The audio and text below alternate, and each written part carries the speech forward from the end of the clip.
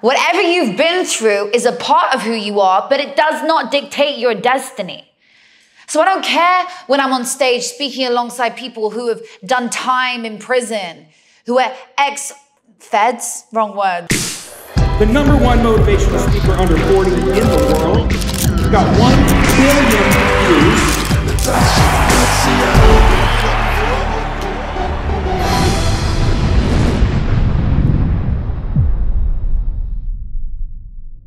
Your past does not define you. Whatever you've been through is a part of who you are, but it does not dictate your destiny. So I don't care when I'm on stage speaking alongside people who have done time in prison, who are ex feds, wrong word, but ex criminals and whatever else they've done. They were dealing drugs before and maybe even worse shit. I couldn't care less. No one gives a fuck. Why? Because who they are today is a different person to that person that they were 10 years ago or 15 years ago.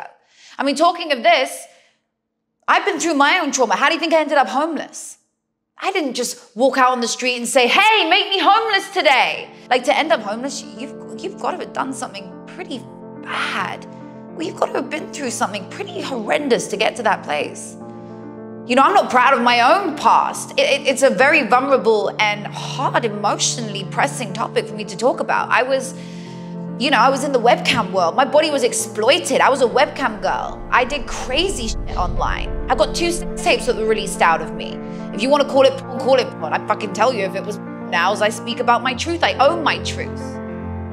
That's a part of my journey. That's not who I am today. That was 10 years ago. The person that I am today is the person that my friends see, the person that my family see, the person that you see when you see me on stage, when you when you get to know me. The person that I am today, the person that you are today is not the person that you were 10 years ago. If I can get over that, you can get over it. If I can get over my past and what I've been through, I was addicted to drugs. I had to feed a drug addiction and earn money. I was high most of the time. I don't even remember filming half the shit that I did online. I don't even remember it. That's how much of a dark place I was in. But do you see me here sitting crying now saying, Oh, I'm a wounded soldier and I've got to stay down? No. Do you know how many people I see whose shit has happened to them? And they just cry and they stay in that bad, victimized place for the rest of their life?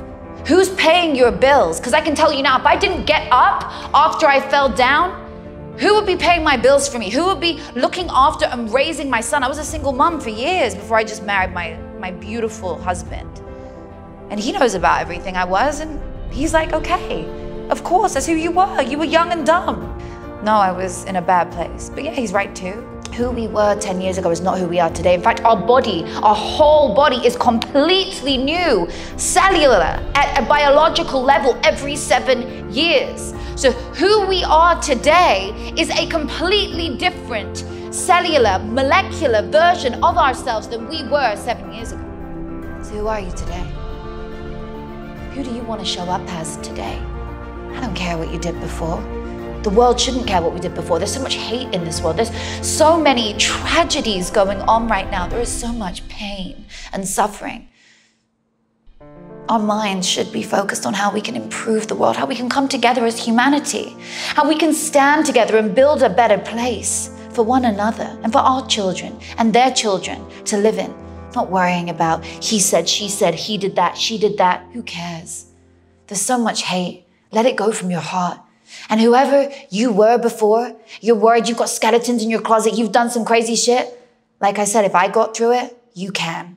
I got through the craziest of the craziest because when you are going through a hard time and when the world feels like it's against you, when you feel like there is nothing left for you, it's in that moment that you've got to fight. It's in that moment that you have to pull through. Like I said, I'm speaking to women today who have been through something, who have been through a trauma and a pain, and you want to overcome it because you can. Nobody dictates your destiny. And what you've been through is your past, it does not define you. What you've been through, as I said before, it is a part of who you are. And let it be a part of who you are. Own your truth and walk in with your head held high. Because the ones who are going to talk about you and who are bad to you, they were never your friends. They were never for you. As I have grown on my path, as I'm working with bigger and bigger names, I share the stages with some of the most incredible minds on this earth. And I have that but if I didn't go through who I was, I would not be able to be on those stages now because I'd just be like everyone else. So your past helps you because it makes you a little bit different. When I sit on stage alongside people who've been to prison and they have amazing stories, we don't judge them for that. That was when they were younger. We look at them and we say, wow, look how far you've come. And you have come so far. You've come so far on your journey. So don't give up now. Like I didn't give up. If I gave up, who'd be feeding my son? Who would be creating the structure and the foundation and the products and the services that I do to help people? Half my work is philanthropy. Half of what I do is just giving. We give away so much for free. Why?